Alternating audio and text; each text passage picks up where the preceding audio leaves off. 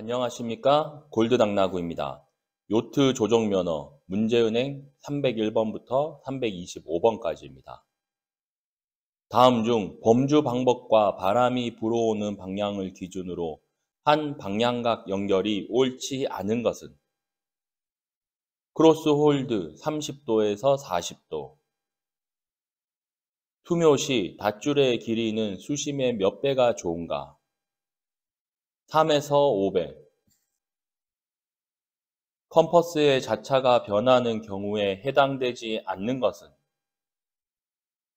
지방 자기의 영향이 없을 때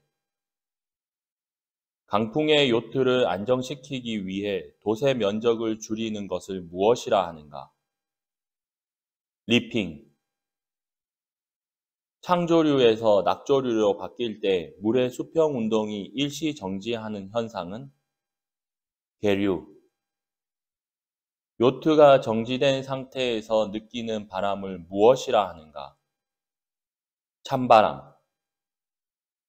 요트가 풍상 범주 시 뱀바람과 찬바람의 세기는 어떠한가? 뱀바람이 더 세다. 다음 중 각 크루별 역할과 책임으로 옳지 않은 것은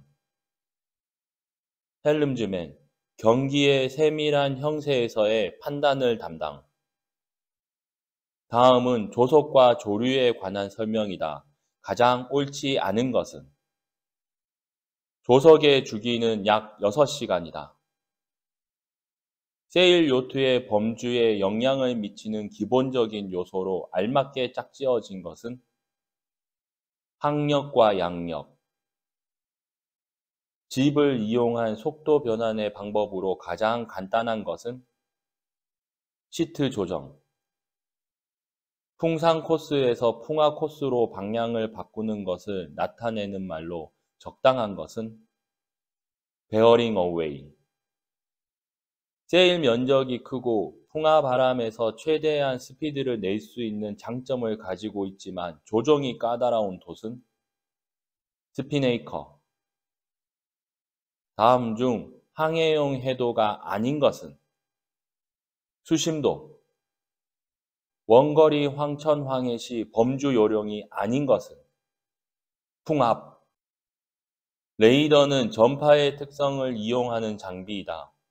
이와 관련 없는 것은 전파의 굴절성, 레이더 화면 지시 방식이 노스업일 때 본선이 변심하면 화면은 어떻게 되는가?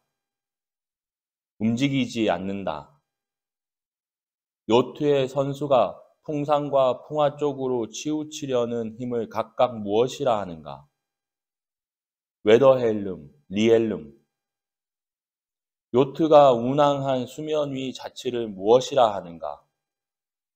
항적. 다음 중 자이로 컴퍼스의 오차가 아닌 것은 경도 오차. 국제해상 부표식에서 우리나라는 무슨 지역인가? B지역. 항행 통보 항 번호 뒤에 표시한 P는 무엇을 뜻하는 것인가? 예고고시.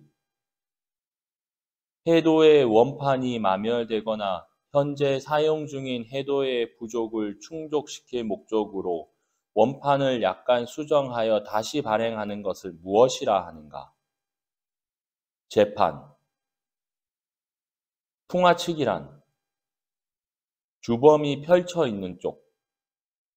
항해 시 변침 목표물로서 부적당한 것은 부유물. 구독과 좋아요 부탁드립니다. 고맙습니다.